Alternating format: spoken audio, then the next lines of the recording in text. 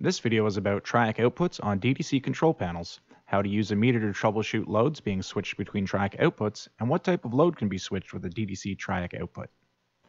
TRIACs are electronic components that are widely used in AC power control applications. They are able to switch high voltages and high levels of current over both parts of an AC waveform. This makes TRIAC circuits ideal for use in a variety of applications where power switching is needed.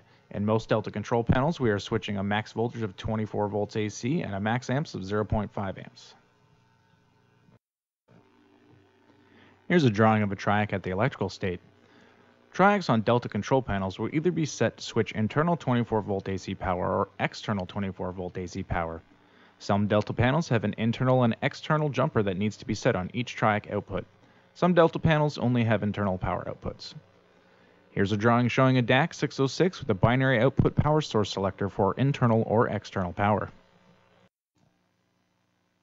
So one of the problems techs have with TRIACs is the understanding of how to use a meter on them. TRIACs have a leakage current that doesn't go to zero when the output is off when there's no load. Using a digital meter is a part of the problem as the voltage on a digital meter has a very high resistance.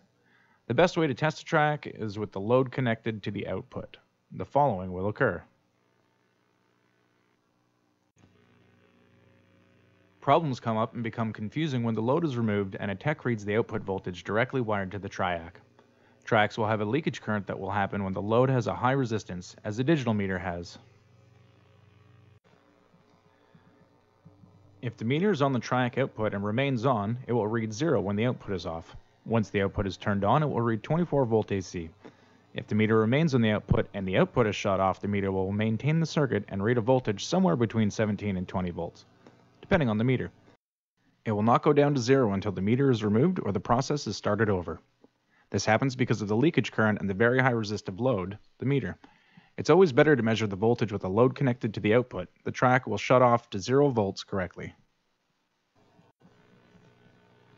Lastly, because of the leakage current, sometimes called holding current, TRIAC should not be used to switch electronic devices such as electronic thermostats, some heat pump connections, and some RTU connections, speed drives, boiler electronics, anything that runs on low current.